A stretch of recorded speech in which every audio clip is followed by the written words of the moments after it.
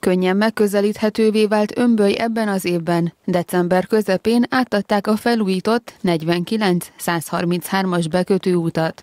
Ezt a kétsávos 5 kilométeres szakaszt a Magyar Falu program forrásaiból mintegy 480 millió forintból korszerűsítették. Erre a beruházásra négy évtizedet várt a település, végül idén sikerült megvalósítani.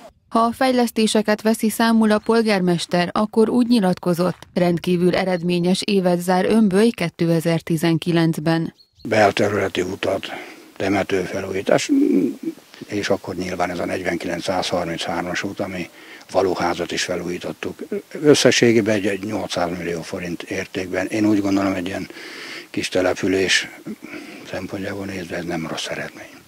Az év elején közel 60 millió forintból megújult és bővült a Nyírbélteki Gyöngyszem óvoda önbői tagintézménye. Ennek köszönhetően azok a gyermekek, akik ide járnak, már a kor igényeinek megfelelő óvodai nevelést kaphatnak. A tornaszoba kiépítését egy terület és település fejlesztési operatív program forrása biztosította. Korábban már az intézmény működését is veszélyeztette a tornaszoba hiánya. Ebből az összegből nem csak ezt a szobát építették ki, az egész épület energetikai korszerűsítése is megtörtént önböjön. Az önkormányzat legnehezebb feladata a népesség megtartása, közölte Trefán Gábor polgármester. Ebben az évben öt három gyermekes és négy két gyermekes család is elköltözött önbölyről, ezzel gyakorlatilag lefeleződött a gyermeklétszám, illetve a 41 elköltözött fővel 475 főre csökkent a lakosság szám. Próbálnánk vagy letelepedési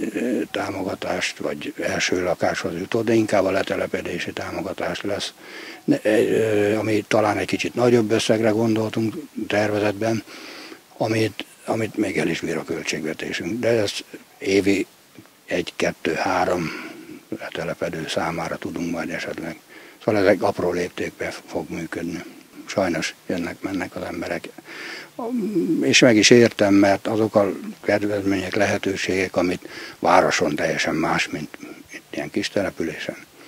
Nincs hitel, illetve ami hitel van most, a két gyerekes 1 millió 400 ezer forint környékén van a, a csók, ehhez körülbelül ennyi hitelt kapna.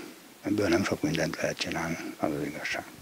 A település a Magyar Falu programban több lehetőségre is pályázott, négy fejlesztési forrásban bíznak. A 13 éves falugondoki busz szeretnék lecserélni, de fontos lenne a ravatalozó felújítása, illetve eszközbeszerzésre és belterületi utak felújítására is adott be pályázatot az önbői önkormányzat.